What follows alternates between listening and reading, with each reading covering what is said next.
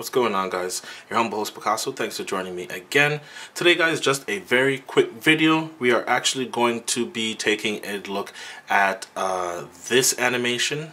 Button here uh, is going to bring up as you see there that animation and the applications there. That's all done with KLW okay in a much uh, uh, uh, more detailed fashion. All right let's jump right into it. Let's First not wait we're going to go ahead and add uh, we're going to add an image or a text. Let's go with adding an image. Okay, so we're going to go ahead and add an image. Let's go ahead and select it. Uh, of course, pick the image. Uh, whoop, I didn't actually tap it. Let's go ahead and pick the image. Um, you most, oh, sorry. The image I want is actually an icon. So let's go ahead and pick an icon. Alright, I'm just going to grab this one Let's grab that. Let's go ahead and drop it right down the center. Then what I'm going to do is I'm going to clone the icon. One, bring this up here. Two, uh, right there. And then let's go over like that. Let's go ahead and bring it up a little bit more. Okay, let's copy this guy, paste and then there he is that one. Let's move this down. One two three four five six seven eight nine ten. Let's move back. Let's copy this one.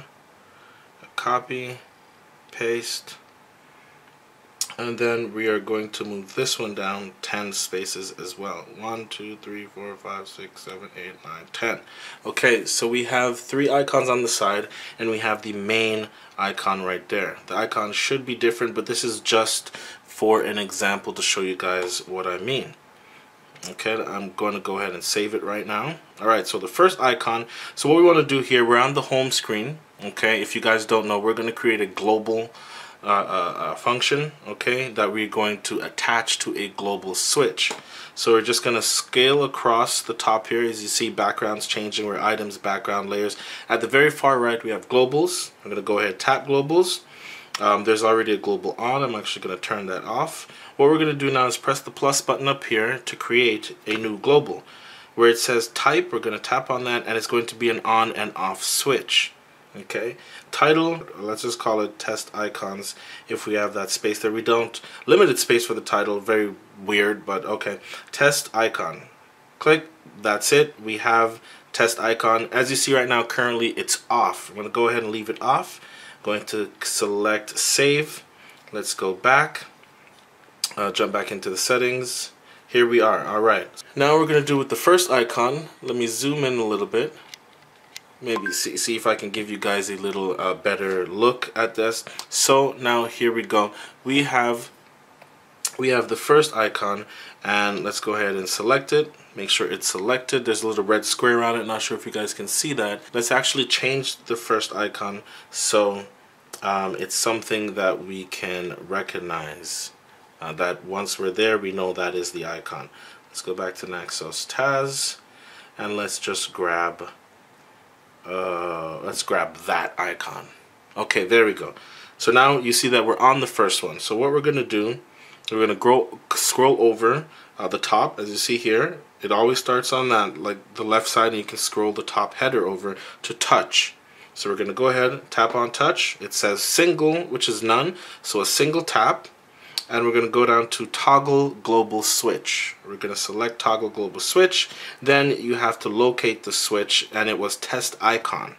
Okay, so we've gone ahead and attached this button so when you tap on the blue button that we've created, it's going to toggle the switch test icons. Alright, let's go ahead and save that.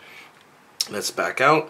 Now, what we want to do is that when we tap on the blue button, these icons appear okay we're gonna make them appear from the bottom. What we're gonna do is we're gonna tap on the first icon which is one of the top ones up there okay? So we're gonna tap on that and that's going to let us know uh, uh, so now we're on this top one up here okay? So we're on that. Now what we're gonna do is go to animation. Now we're in animation. There's nothing here. The little plus sign up here we're gonna go ahead and tap on the plus sign. It says animate disabled Okay, what we're going to do is tap on disabled. It's going to give us react on. It's disabled. We're going to tap on disabled and it's going to react on global switch. Okay, now we get a whole new set of uh, uh, things below global switch where we've just selected. Let's zoom in here a little bit more. Okay, so now it says global. So now we're going to select test icon. Okay, there we go. Now it says action. We haven't come out of it yet. Global switch, test icon, action.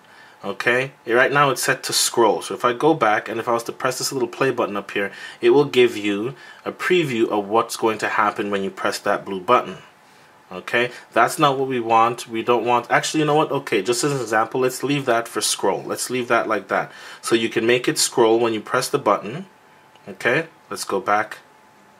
Alright let's save save okay let's go back once more now the second icon let's go ahead and do the second icon. I'm going to go to animation, alright, with plus button. It's disabled, react on. We want it to react on the global switch. We're going to select the global switch test icon and instead of scrolling as you see there where it says scroll okay? You tap on that to change it from scroll and then you have a little list here with a couple of things it can do alright now one of my favorites that I've actually really loved is scale out horizontal okay? So scale out horizontal basically when you tap the button it's gonna do that okay? So not, it's not scale out horizontal it's scale out vertically. So pressing the play button will show you what's gonna happen like that. Now for this it will scale out vertically to the center. So it's gonna be here and it's gonna go like this to the center what I like to do is have it go like this so if I can do it with my fingers, but basically there's the top and here's the bottom. Instead of scaling out to the center, it scales out to the bottom like that. So it's kind of rising from the floor. Now to get that, you just scroll down a little bit more. Here it says module center. That's why it goes to the center. You tap on module center and then you want to put it at module bottom. So now when you press it, it's going to, sorry, press it, it's going to scale out to the bottom looking like it's coming from out of the floor. So all you'd have to do is do the same thing, put as many icons wherever you want, and uh, yeah, you get that effect because you've attached the switch to the blue button and these react when you press the blue button. Let's go ahead and save and we got one more. Let's go for the last icon we put. Okay, and animation again, animation, the plus sign, it's disabled, it's disabled, react on global switch, choose test icon. And this one we want to scale out. Okay? So when touching on the button this one's gonna scale out which is basically it gets smaller. Let's do something a little bit more fancy. Let's scale in actually. Okay so pressing on it the icon will grow and expand. Now the icon will stay that way unless you add another effect. Okay so I'm gonna go uh, again you as you see press the plus button on the home on the uh, main animation uh, home screen here. You can add as many animations as you'd like. So we're gonna do the same thing. It's gonna react on the gyroscope but this time it's going to fade out. Okay? It's going to fade out. So now the fade out is gonna make when it grows it fades out. Okay so let's go ahead and save uh, I think I did it correctly. Let's go ahead and check. Let's go ahead and check. Let's set the wallpaper. Alright, so now here we have the blue button. Let's press and see what happens. Okay, the fade out didn't work. Uh, can I press the, okay, there you go. So the fade out didn't work. Let's see what else happened. Everything else happened, but the fade out didn't. So let's jump back in there and let's see if we can fix this fade out. Let's jump back in it was the last one, right? Animation. Oh, it's on the gyroscope. Okay, I picked the wrong thing. Not gyroscope, global switch. And then test icon, and there we go. Alright. So let's save.